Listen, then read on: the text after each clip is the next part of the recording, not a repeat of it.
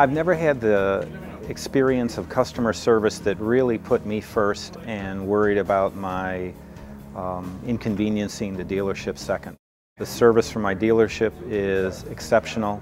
I drive for my job. I do in-home family therapy. So I average about 100 to 200 miles a day, which has me doing about 25 to 27,000 miles a year. Uh, my service manager is Jim Krieger. I can count on having a loaner vehicle that's a brand new product when I drop my vehicle off for service.